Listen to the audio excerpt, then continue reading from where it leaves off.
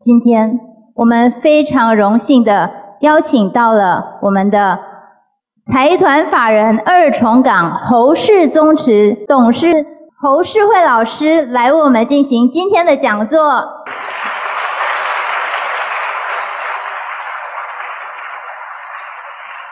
今天我们来到了第六集，这一集玄奘大师回到了中国，开始了石破天惊的易经大业。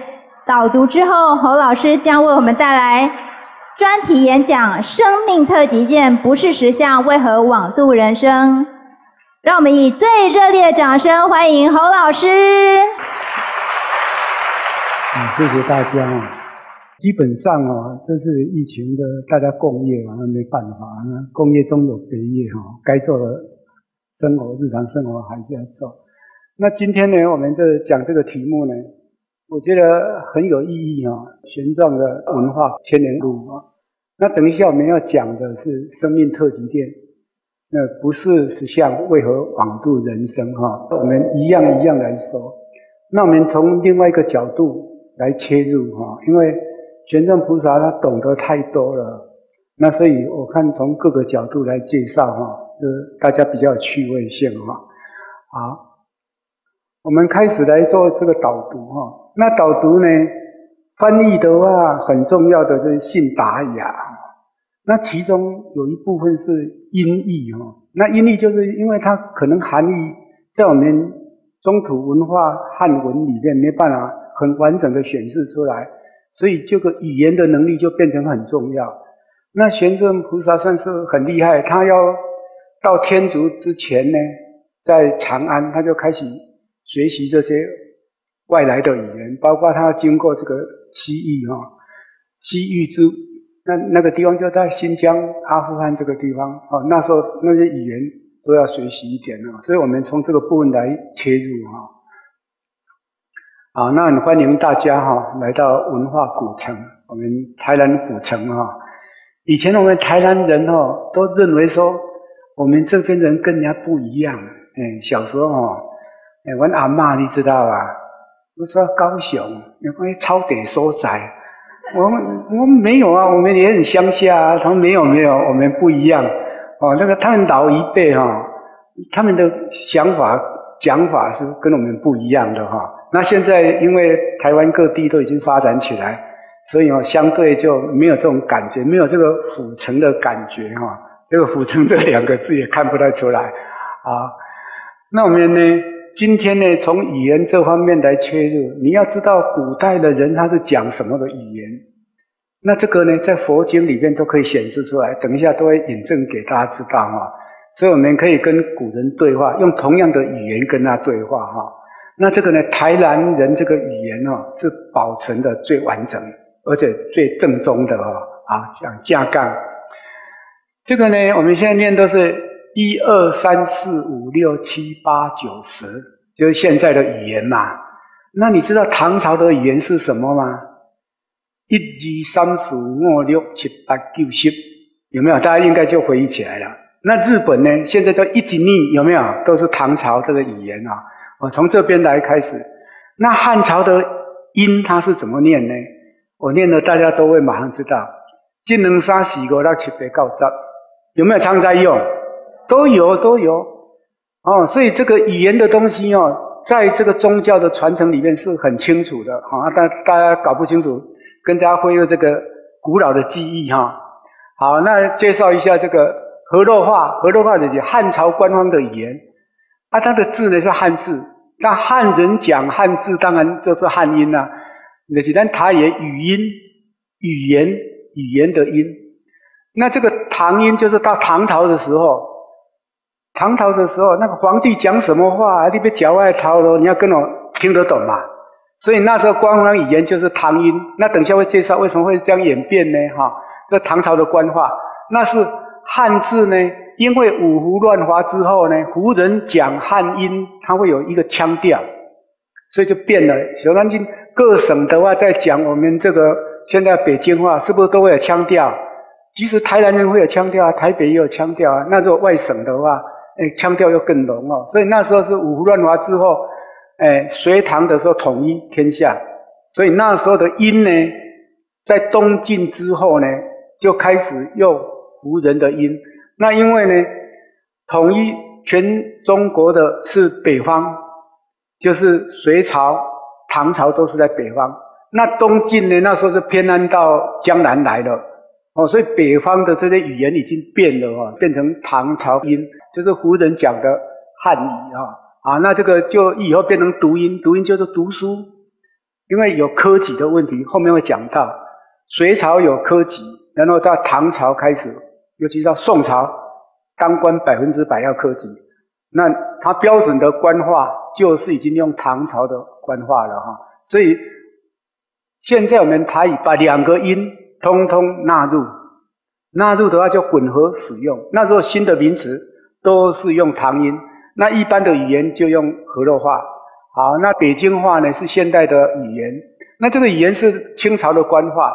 那满洲人呢，他讲唐音，他会有一个腔调，所以外国人说是满大人话。哦，你们懂英文的话就知道哈。那那这个呢就是现在的北京话。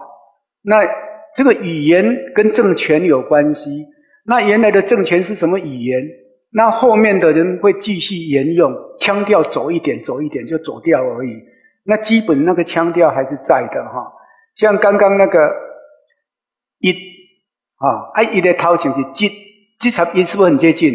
对，啊啊一定要改做一，是不是又很接近？对呀，它是这样演变的啦。哦，那从一个一就好，哦，那那何乐为叫进嘛？哎，啊到唐朝的时候变成一，啊到那个满清的时候讲唐朝的以外就变成一。那个是有一个连贯性啊，等一下会会跟大家证明哈。好，那下一个呢，我们就开始来讲这个台南地区这个历史哈。所以大家这个是台湾文学馆呐哈，所以来这边介绍一下我们台南啊。好，那这个郑成功呢，郑成功在一六六一年来，那这个刚好我的祖先呢，我是二重岗侯氏宗祠嘛，那他登陆的地方呢，他后勤补给比较早到。我们侯氏祖先是郑成功的补给，等于副司令啊，副将嘛，哈，那就登陆在二重岗的东边，就登陆在那，是农历三月十一，三月十一，所以呢，现在三百多年来，每一年都一定要到那边去祭祀，就饮水思源从那边登陆的，哦，这个是现在当客家乡客家十三正午啊。就是在纪念呢登陆的时间啊，那郑成功呢到鹿耳门这边呢，因为要等到潮水啊，所以就比较慢一点。我们我们二重港北门是在台南的北边嘛，所以叫北门嘛，北边的门户啊，所以我们那边比较早早登陆啊。好，那从这个时间来算呢，一六六一有历十五年呢，到现在二零。二二年呢，大概是三百六十年，三百六十一，刚好是六个甲子哦，很有意义哦。今天来讲这个哦，觉得冥冥之中也是，你看呢，那个郑成功那时候还很帅诶，郑成功三十九岁啊，三十九岁叫做因为水土不服，他来的一年那个台湾这边的气候哦，跟他故乡，郑成功跟我是同样是南安人，南安，我们从小就背族谱哦。嘿，我国小的时候，爸爸就叫我背族谱，祖籍一定要背起来。哎，福建省，哎，泉州府南华关十八都鳌头乡。所以那时候开放探亲的时候，七十九年，一九九零年，我就跑回去南安去找。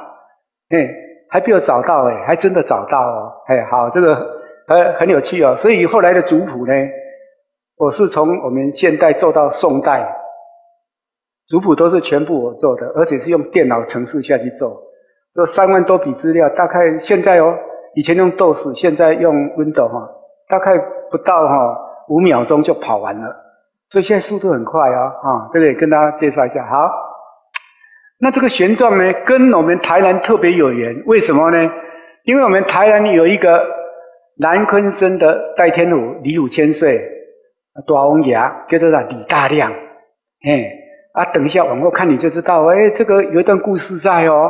好，那唐玄奘呢，在跟李大亮在唐朝的时候，他们两个就有交集啦。哎，所以这个有福报的人哦，他会相辅相成，不管是哈增上缘或是逆生上缘，都是角色扮演呐。哎，哦，这个来再看这个就有。那这个南坑寺庙呢，在我们北门这边，它是台湾王爷总庙。以前整个台湾地区所有的庙都是他管辖。那他六十年叫做出巡一次，全省的，哎，全省，好啊。所以他这个庙呢，等于说民间的这庙以前都是，但是现在就不一样了，有的都各各搞各的。以前不是，他是全省都是属于他管辖的话呢。它的地呢，大概二十五公顷，停车场停车场不算，二十五公顷，规模非常大。然后那个游客呢，香客呢，大概一年呢，观光局统计大概一千多万人，有一千多万人，大家可能不知道。那这个呢，前面是我们福建地区的习俗，金标鳌西，前面是庙，后面就是寺，供奉呢，观世音菩萨、文殊普贤。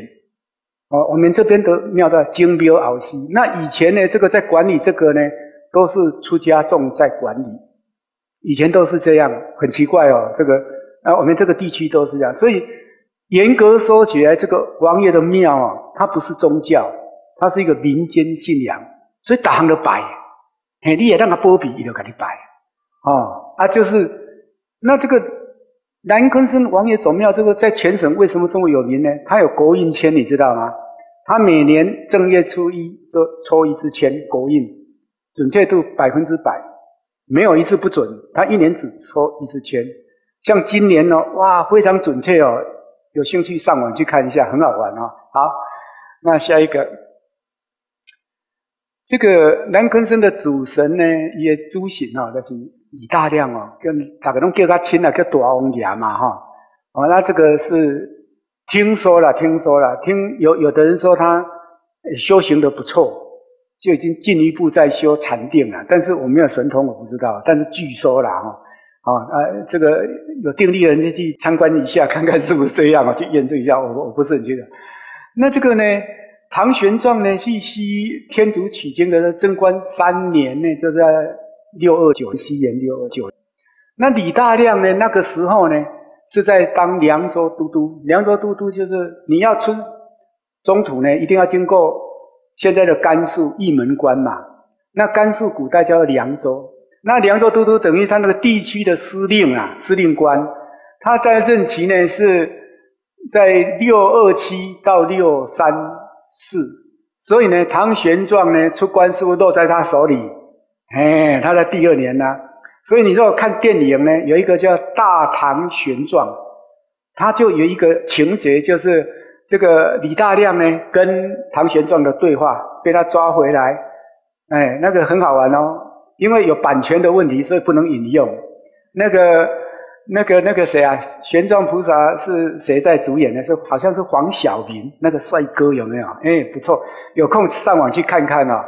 那里面呢有一句话，这个李大亮就说：“本都李大亮奉皇上旨意哦，镇守有没有凉州？哦啊，就跟他有那有有那有一个对话了哈。所以他们这个有姻缘。那后来呢，你看两个人发展都不错啊。唐玄奘以佛教是第一位，就是什么唯识正量最高的哦，所以那个是呃很高的地位。然后这个神的部分呢，台湾呢排第一的。还是李大亮啊，哎，所以以以前哦，他出神到哪一个地方，哪一个地方的所有的庙，通通要接受他的管理哦，所以那个早期是很严格，现在已经没有这个盛况啊。好，那我们现在就开始要了解呢，因为现在要讲千年的这些文化嘛，所以哦，这个历史上要大概知道一下，尤其。比较着重的就是语言的部分，比如说呢，远的不说，我们从最现在的信信史哈，就是有信比较有能够征信的这个，从西周开始，西周，然后东周就春秋战国呢，这些官方呢一直延续语言变化不大，因为你看啊，秦始皇统一六国的时候，秦始皇本来就是周朝的。一个诸侯而已嘛，所以他一定跟皇帝要讲官话嘛，对不对？而所以这个语言是一样的。然后汉朝呢，刘邦、萧何，他们本身就是秦朝的官吏嘛。刘邦是当亭长嘛，他一定会官话嘛。然后萧何呢，哦，也也也是县里面沛县的官员，所以他们这个语言呢都是没有变，都没有变，一直到呢西晋的时候，哈，这个曹操的魏朝到司马懿的西晋呢，到东晋这边呢，全部都是讲汉语。那汉语就是我们现在说的河洛维啦，河洛在哪里？就是洛阳，洛阳，所以又叫洛阳正音、洛阳雅音，哦，所以那这从这边一直到唐朝，因为唐朝比较强盛，所以我们这边把它隔开。你看这边啊呢，两个一相加呢，从西元前一千一百一十年到这个六百年中，那呢河洛话是官方语言呢，每个字音都有字。那个有一千七百多年，那为什么后来呢变成对不起来？因为唐朝太强盛了，他统治的这边，你看呐，从六百多一直到明朝，都是讲唐朝的语言。因为科举的问题，大家一定要学他的语言，要不然你考不上。所以你看呐，这边唐语就变成很强，很强之后呢，哎，这个河洛维的民间你的共鸣啊，跟文字就脱节了。这后面会讲到。那到清朝呢？这个满清呢，努尔哈赤本来就是在李成梁手下做事行走哈，所以你看啊，他也会唐语，但是唐语不标准，但最起码认真听还是听得懂哦。所以从满清之后呢，就是明朝灭亡之后，一六四十年之后，就讲我们现代的语言了。好，这个大致这边讲比较久一点了，那后面这个。那我们看看各朝代它是怎么讲呢？河洛话，河洛话的是咱的台语的语音。那这个语音呢，四书五经，四书五经是上面写四书五经是在什么时候呢？四书五经是是不是在春秋战国的时候？孔子是春秋战国嘛，在东周那边。所以呢，四书五经呢是用那时候的白话文写的。但是因为我们现在读不懂，所以叫叫做文言文。那你如果会讲何乐为呢？那你看那个孔子、孟子他们的对话，你就觉得很好玩。孔子啊，能够的空住啊，这是啥？这是东调音吗？那请问呢？如果我们何乐话怎么说孔子这两个字呢？空啊，有有这亲切不？子路、子游，那是阿罗啊、阿友啊。我们大家是不是现在都在讲桌子、椅子是不是都啊一啊？对呀，都都有啊，嘿，所以你如果会合的话，你先看四书五经哦，解决很多问题，嘿，哦，这个你看一下，然后你看曹操啊，曹操文学很好啊，曹子建呐，我们看的哇，这个很佩服啊，曹子建呐，曹子建台音啊，泽阿健，哎阿健呐，对不对？我们现在台南人常常在用的啦，哦，这个都是我们的。那关公啊，诸葛亮啊，他们吵架的话，讲的也是单线的何乐为啊。对呀，都有啊，都有啊，所以你看，哦，这些语言的时候很好。那看佛经翻翻译，在鸠摩罗什那个时候呢，他是五胡乱华过来，但是五胡乱华那时候没有全部统一，所以有大部分的地区呢讲的是河洛话，所以鸠摩罗什翻译的东西呢都是河洛话。等一下我会举证。所以呢，那就呢念什么《金刚经》啊，《观世音菩萨普门品》啊，《妙法莲花经》啊。阿弥陀经啊，都是用和乐话，都是用和乐话。那宗教要传承呢，绝对不会给你写文言文让你读不懂，一定要让你一读就懂。那因为我们现在呢，已经用用现在北京话在读，所以就觉得有些话不懂哈，是因为这样的缘故。好，那你看啊，禅宗公案，禅宗最流行的就在唐朝跟宋朝。那唐朝民官方是讲唐语呀。民间呢都是讲河洛话啊，所以你看看呐，这个禅宗公案呢，记得临济玉贤哦，临济宗最强盛嘛。临济玉贤破参的时候，对他的师傅讲一句什么啊？他的他的师傅是黄破禅师嘛。他说：“黄破无多子，黄破无多子。”你现在看不懂嘛？来，我跟你翻译河洛文那个。嗯，撇无多啦，多嘛，最少嘛，多少就最少啊，无多。意思讲哦，因为师傅不过尔尔而已啦。你看这个邻居话老臭屁，但是因为这样啊，所以他的法就跟人民很亲切呀。所以你看，现在都是邻居中啊，百分之九十几的现在的禅宗都是邻居中哦，所以这个也有它的好处。在红传的话哈，反而它红传的最广。好，然后呢，唐唐朝的时候有唐诗，有宋词呢。那个时候呢，都是为了科举当官啊，这些都是当官的，苏东坡啦、李白啦，他们用的呢都是唐音。所以你如果现在呢在念这个这个唐诗呢，如果没有押韵，用现代话来念北京话没有押韵，你用闽南语保证押韵。所以你若听到的是破音字，以以前有破音字，现在就没有了。像古鸡现在改叫滑鸡，对不对？那骨呢？骨骨是不是那个滑？是不是骨头的骨？台语讲骨豆，是不是骨？那个音都没有跑掉啊，所以造字那时候是造我们现在的讲的何头为，哦，这这是没有错，绝对没有错哈。好，那后面会讲。那如果是清宫记啦，现在讲的黄额娘啦，啊，这个就台语的安娘嘛。那个阿弥陀佛，因讲阿弥陀佛嘛，有没有？对呀，那个就是音跑错了啊。啊，e u 呀，那个 a e i o u 那个是母音嘛。是全世界的人类都是这个母五五个母音，好，所以你看呢，你在看中间那黄鹅两，你会搞不清楚。我跟你讲，你讲红德嘛，爱叫阿娘嘛，对不对？哦，就是这样。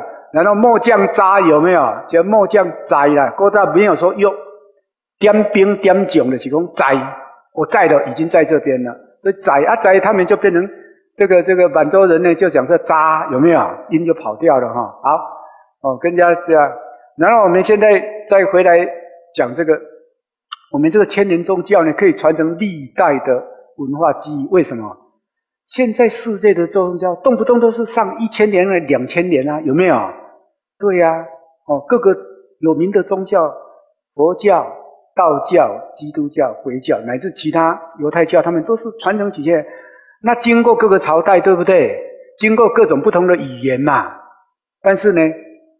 这个经典的东西有没有变？没有变，尤其是中途，因为我们这个字呢是单独有意义，你要读什么音都没关系。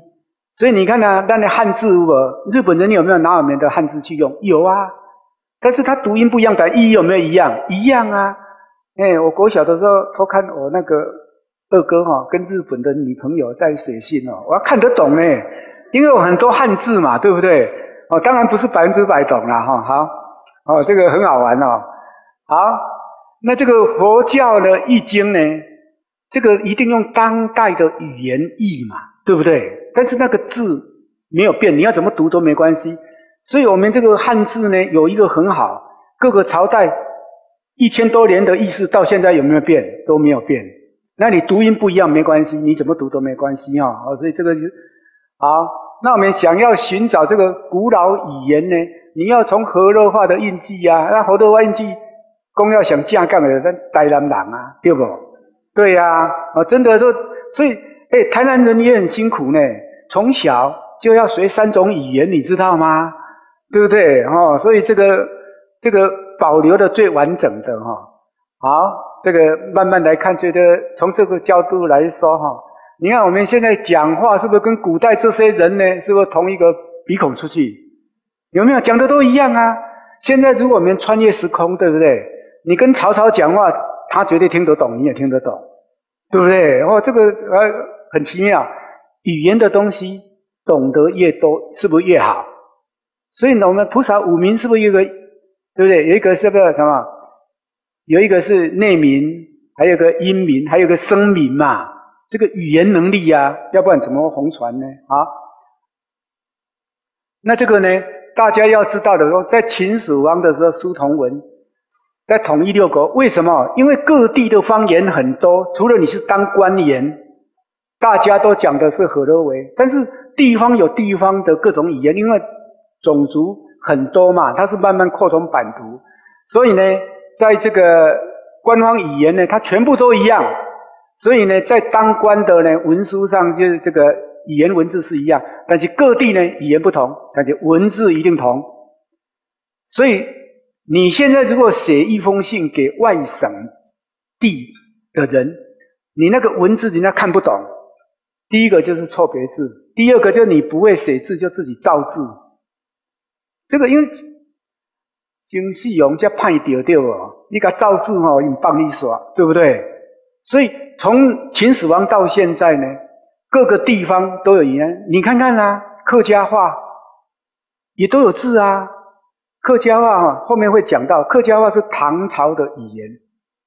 唐朝有同学问我啊，我才上网去查。我听那个广东歌啊，它都是唐朝的语言，都是唐朝。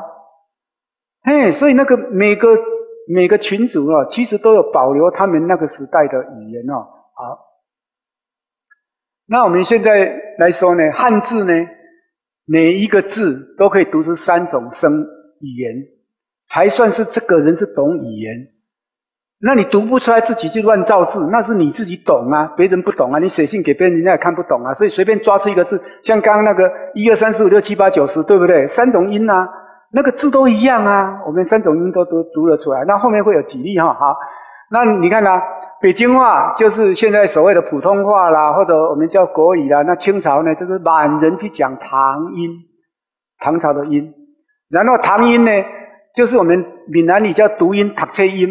那个是唐朝呢，这个五胡乱华这个胡人呢，是讲这个，呃，这这个汉语呢，跑出来音招调腔调啊。那河洛话呢，就是台语的语音，就是我们语言啊，那你的恭维好。那这汉朝呢，汉人讲汉语，当然就是本来叫做他们的音哦。好，那这个各个朝代呢，大概也让他知道河洛话呢，这汉人汉语大概有西元前一千一百年到到这个这个。唐朝成立六一八，这个河洛威呢，河洛话呢是当官方语言有一千七百二十九年，你看久不久？所以每一个字典里面都是根据呢河洛话造出来的，嘿啊！但是后面呢，到后面没有办法，因为这个朝代改变科举的问题。好，那后面再讲。你看他历经西周、东周，就春秋战国、秦汉魏晋。都是讲河洛话，很长的啊。然后唐朝呢，他是胡人讲汉语，胡人五胡乱华之后的事情。其实呢，我们汉人自己脸上贴金呐，他们汉人的血统哦，到底有有多少？我是一直打问号。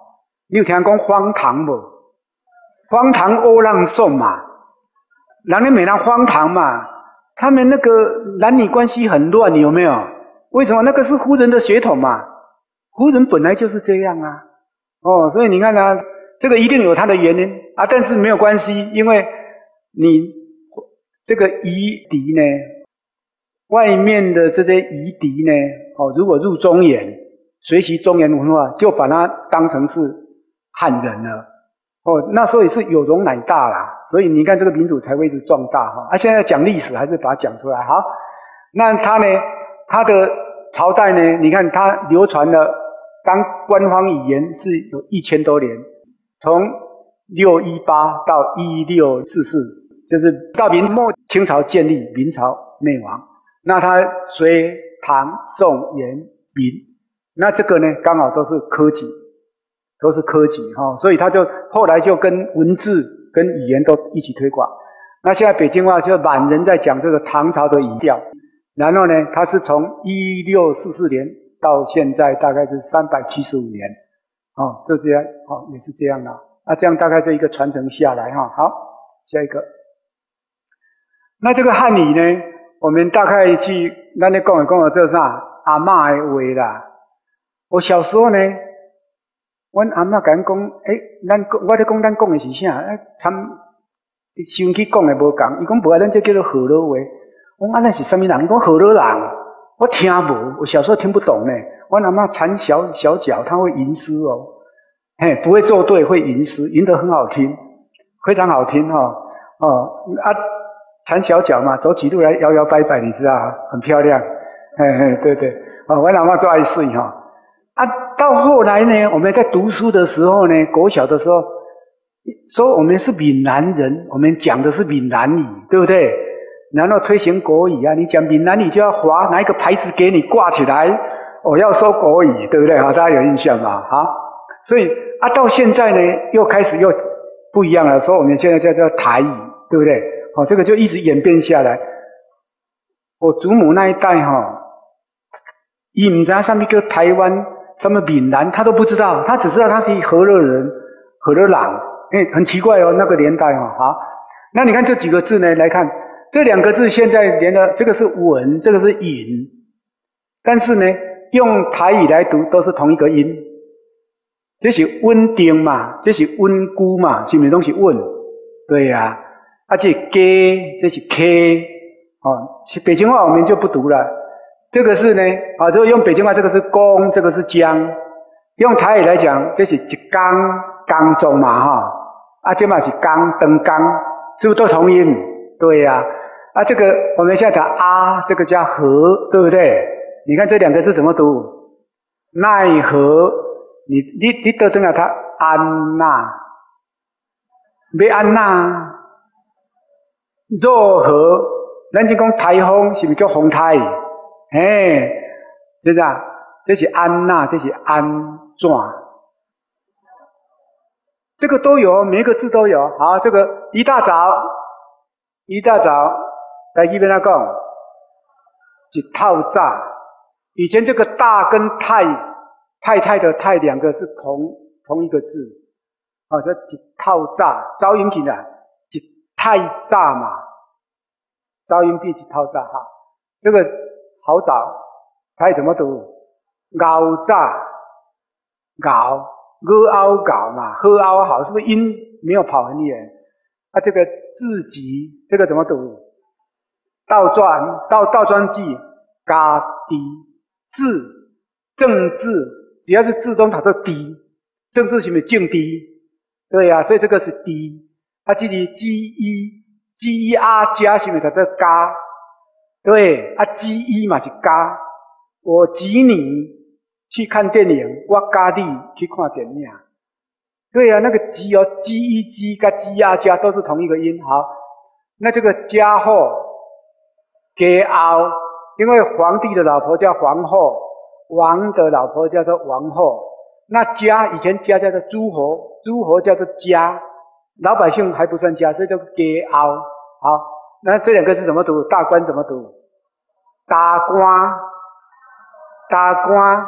宋朝的皇帝叫做官家，就这两个字。啊，你啊，恁到位新主牌拜拜去啊，新主牌拍开，恁的祖先啊，一字的后边加了一字，一定是加一个官，男生一定会帮你加一个官，因为哈，他要错贺吉吉祥，兴诺别书阔。一定爱先而且 no，哎，所以他要错字。好，啊，这个，啊，这个大家，大家，哦，这样，对呀，这个都有字。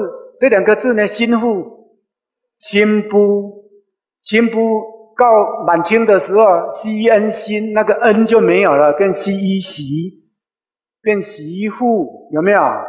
心部啊，食物，假密。啊，咱是咪倒边它叫做米家，乞家有无？乞家取食啦，乞家。这个时辰怎么读？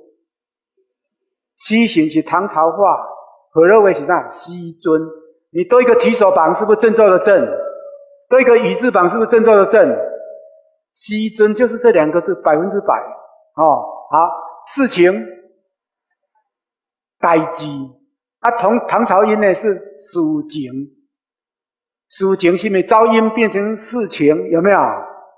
代机这个说起来讲，这个事呢，以前只要是死，那那塞车、死车嘛，塞车嘛，啊，对啊，唐朝音就叫事啊，那讲代塞，啊，你讲叫代数嘛，大使馆嘛，对呀，代塞馆呢，我当时是拢讲代塞，所以这个死，你看呢？为赛啊，变成代代字，造造一个音去哈。啊，情呢，七恩情，G E N 景抒情嘛。那个嗯拿掉是不是己 G E 己？有没有？哦，这个从长音可以推断出来哈。触怒怎么读？不知道哈。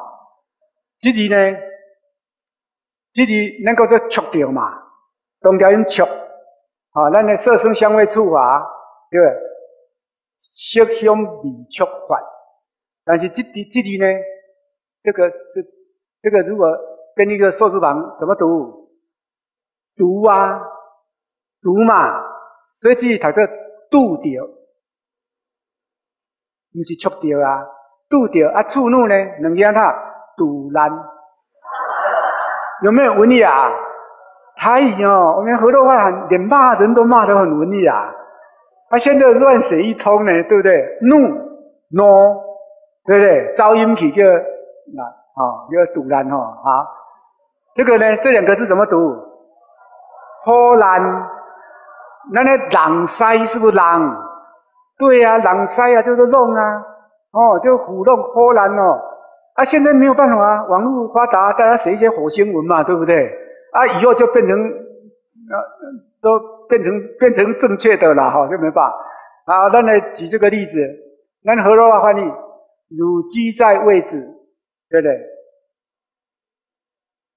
啊，汉语唐音怎么的？汝徛在位地。河洛话呢？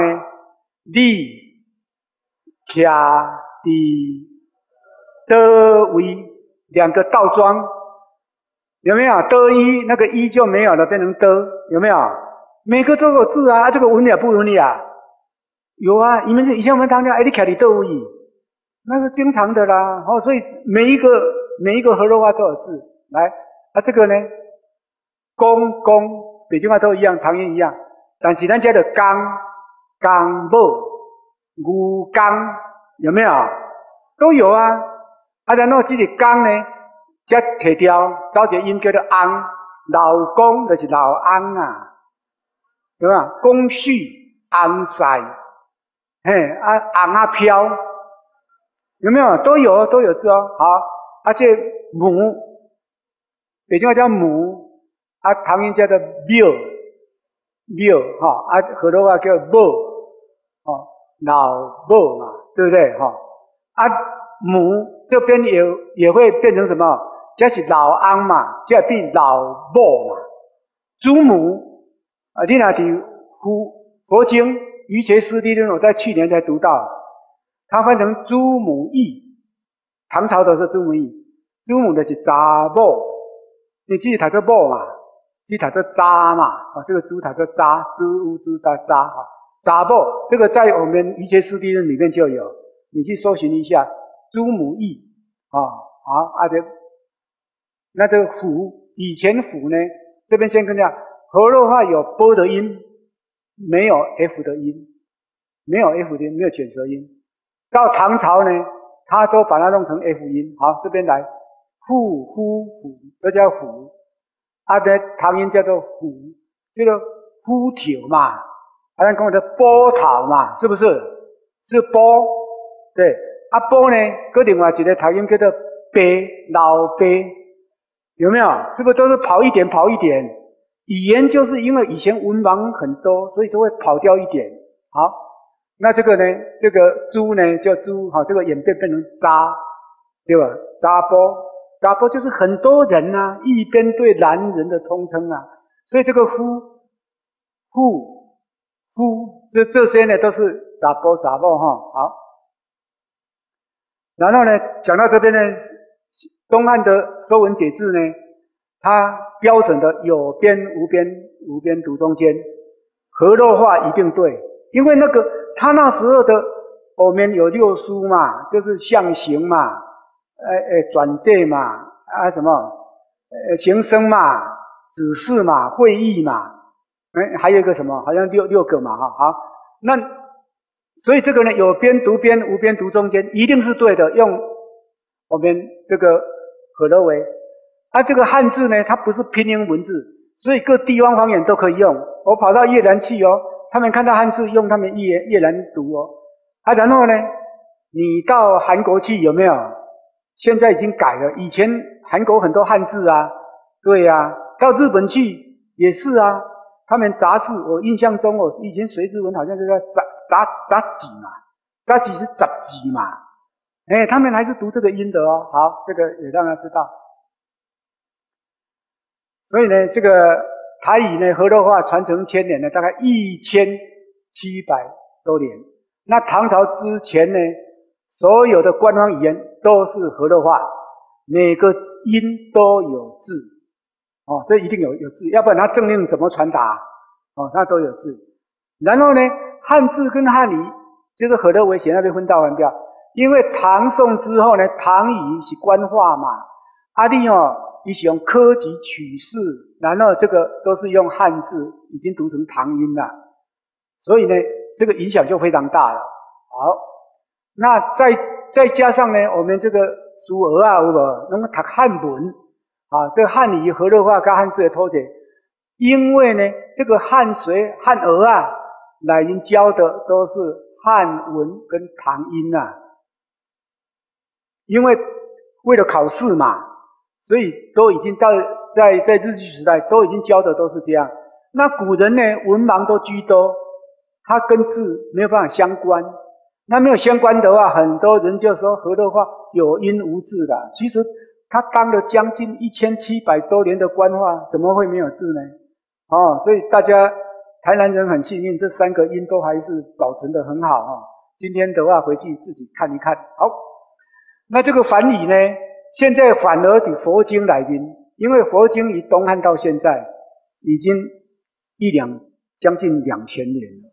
你看啊，从梵音，它梵梵语里面它有巴利文来对照汉字，很多字可以对照出来。那个朝代讲什么语言？因为梵音它到现在没有变啊。好，那鸠摩罗什呢？它是东晋的时代，就是五五五十六国的时代呢。他是讲河洛话，等一下我会举举举举例给他。他是讲我们台语的语音，可能常常跟我们拢小讲啊。哎，那进来快点鸠摩罗什拢也通。哎，好，那唐玄奘呢？他是唐朝的语言嘛，所以是我们现在的读音。